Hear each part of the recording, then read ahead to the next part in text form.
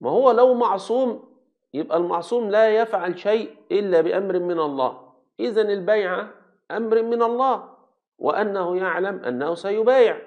فإذا كانت البيعة أمر من الله وأنه يعلم أنه سيبايع. فلما تأخر فلما تأخر وعرض فاطمة إلى الضرب. كان أول على الأقل لما جم عند الباب كان طلع لهم مبايع. ولا مش مظبوط؟ فكرتوني بحاجة يا اخوانا صح عندهم رواية بتقول إيه؟ بتقول إن عمر تقريبا كان بيسأل عن عن قبر فاطمة. فعلي بن أبي طالب مسك عمر وسلخه. مسك عمر وسلخه. قال له خلي بالك لو جيت جنب القبر بتاعها أعمل وأسوي وأخلي.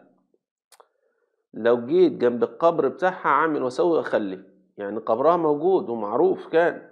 آه ما هو هيجي جنبه إزاي لأنه يكون معروف؟ طيب ماشي دي سيبك منها.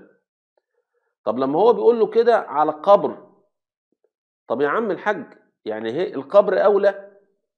شقة الطوب أولى؟ ولا الجسد نفسه أولى؟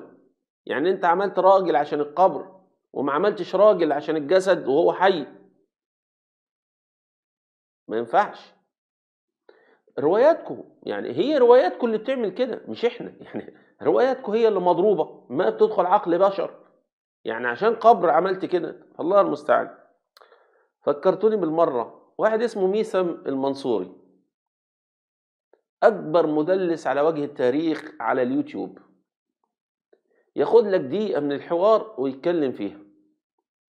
رواية المصنف أنا دايما لما بس بتكلم في رواية المصنف بتكلم وببين العلل اللي موجودة فيها. تمام؟ يروح جاي واخد لك المقطع الصغير وأنا بقول لها مثلا بقول لواحدة متداخله كده بقول لها إيه؟ والله ده في في المصنف ديت أيوه الروايه نعم صحيحة يعني أو رواتها ثقات ولكن فيها علة كذا كذا كذا كذا. وبعدين ليس يعني أن الروايه رواتها ثقات تعني أنها صحيحة. ففي فرق بين أن رواتها ثقات والصحيحة. تمام؟ فهو أخذ الجزء دوت وقال لك وليد إسماعيل بيدلس. طب ما تعرض للناس الجزء كله. اعرض العلل اللي أنا أوجدتها في مسألة كسر ضلع في مسألة التهديد ورواية مصنف ابن أبي شيبة. الزعطوط الثاني الزعطوط الثاني. هناك رواية تقول أن الصديق رضي الله عنه وأرضاه كبس بيت فاطمة يعني دخل على بيت فاطمة. وهناك راوي في هذه في السند في هذه الرواية راوي ضعيف بل قال عنه البخاري أنه منكر حديث وتكلم فيه الذهبي وتكلم فيه كثير من العلماء.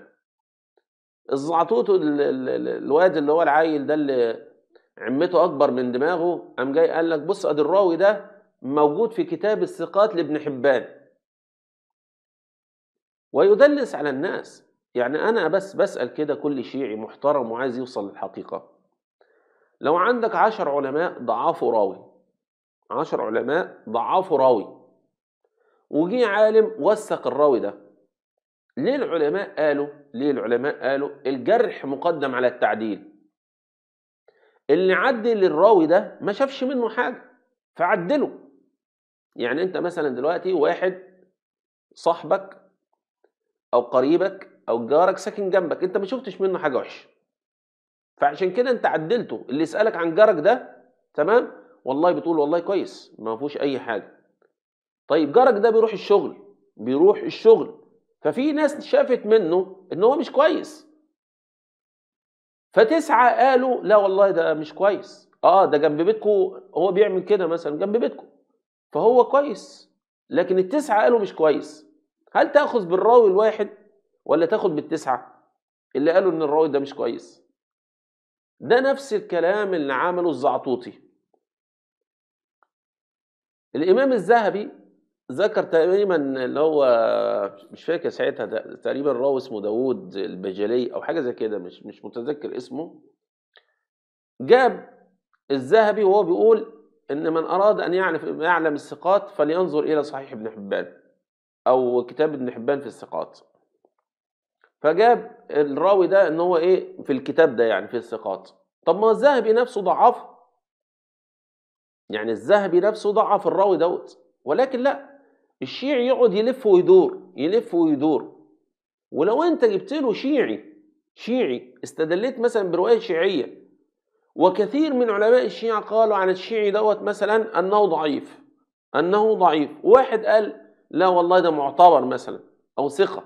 هياخده بانه لو الرواية يعني لا تنزل من فم أو من بالعوم الشيعي هيقول لك إيه؟ هيقول لك لا والله هناخده باللي ضعف الرواية.